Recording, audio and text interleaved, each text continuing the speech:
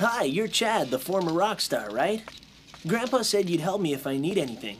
Like needing all your meals in your room? So you never have to mingle with us? No, I just wanted to tell you it's hot enough. I think you can let the fire settle down. Sure, whatever you want. Ah! Is this a bathtub or an oven? Ah!